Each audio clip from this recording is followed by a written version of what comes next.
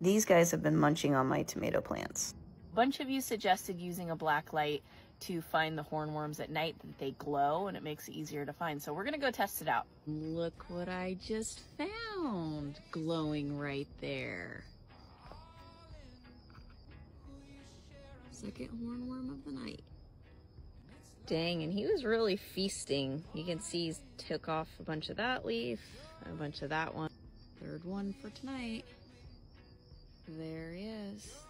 It's amazing. No black light, black light. Really, it really does help find them.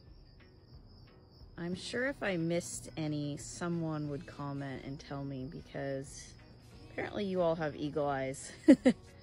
you guys spotted them my previous video when I definitely missed it. Okay, it looks like that's all we're gonna get for tonight. Three hornworms off the tomato plants.